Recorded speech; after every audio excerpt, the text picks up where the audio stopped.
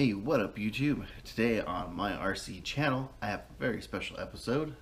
It was a last minute call. I decided to get an F1 car uh, on the cheap, so I ordered a Calandra Racing Concepts WTF1 FC16.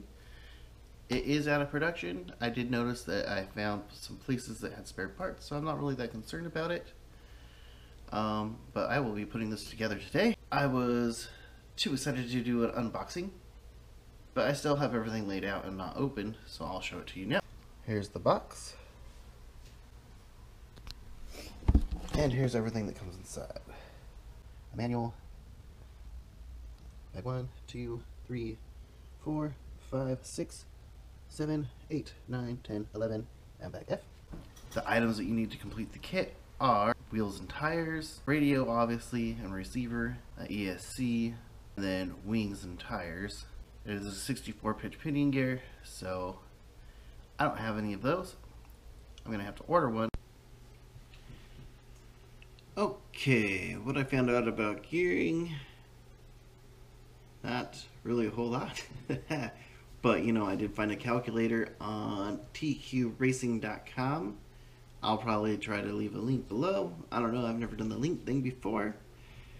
But uh, to achieve that uh, 80 millimeter rollout with a 96 tooth spur gear and a 60 and a half inch, I'm sorry, 60 and a half millimeter tire, I'll need a 40 tooth pinion.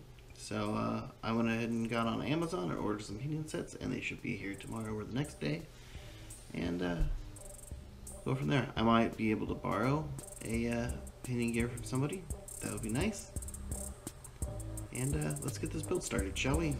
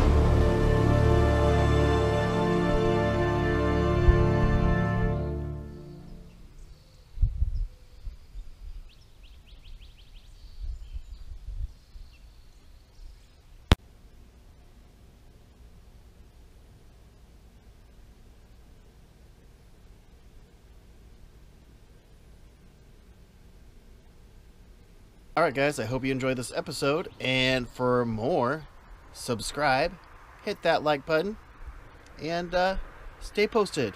I have a Clod Buster build coming. I'm going to call it the Mother Trucker.